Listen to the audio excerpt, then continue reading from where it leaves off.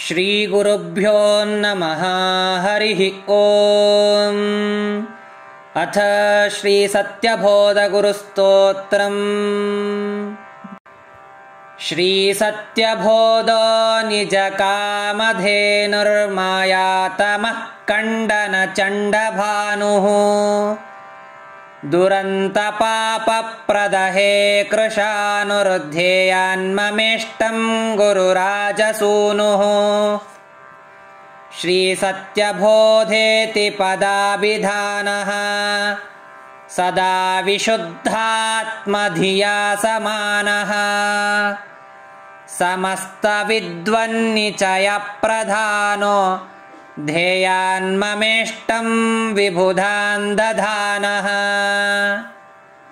रमाधिनाथार्हणवाणिजानिः स्वभक्तसम्प्रापितदुःखहानिः लसत्सरोजारुणनेत्रपाणिर्ध्येयान्ममेष्टं शुभदैकवाणिः भक्तेषु विन्यस्तकृपाकटाक्षो दुर्वादिविद्रावणदक्षदीक्षः समीहितार्थार्पणकल्पवृक्षो ध्येयान्ममेष्टं कृतसर्वरक्षः श्रीमद्वदुग्धाब्धिविवर्धचन्द्रः समस्तकल्याणगुणैकसान्द्रः।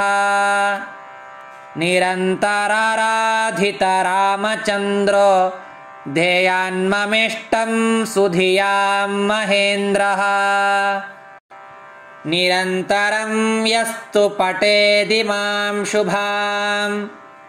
श्रीश्रीनिवासार्पितपञ्चपद्यीम् तस्य प्रसीदेद्गुरुराजहृद्गः सीतासमेतो नितरां रघूत्तमः। इति श्रीश्रीनिवासाचार्यविरचितम्।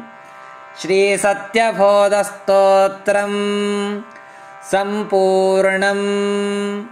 श्रीकृष्णार्पणमस्तु नैवेद्यगविशं रामे। वीक्ष तद्भुक्तिभाग्गुरुः।